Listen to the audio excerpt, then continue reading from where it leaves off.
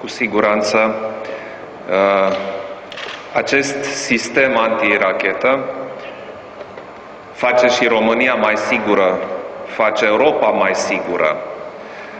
Am spus în prezentarea mea dinainte și vreau să repet, uh, acest sistem de la Deveselu are strict capacități defensive. Nu este îndreptat împotriva niciunui stat, nu poate să fie folosit ofensiv.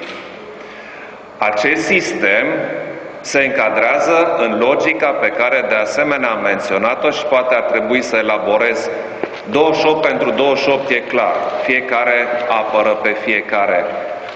Abordarea 360 de grade. NATO trebuie să fie pregătită pentru a face față la toate provocările sau la toate riscurile. Aici nu vorbim despre Rusia. Știm că Rusia folosește aceste ocazii pentru a fi foarte vocală, însă și ei știu la fel de bine cum știm noi că sistemul nu este niciun fel îndreptat împotriva Rusiei.